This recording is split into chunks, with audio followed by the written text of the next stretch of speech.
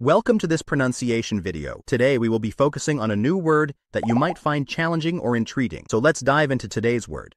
Cowboy, which means a person who tends cattle and performs tasks on horseback. Let's say it all together.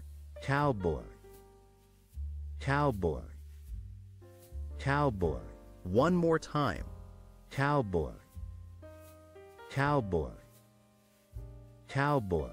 Thank you for joining us on this adventure in pronunciation. Remember, language is a journey, not a destination. Keep exploring, experimenting, and expanding your linguistic horizons. We'll see you next time.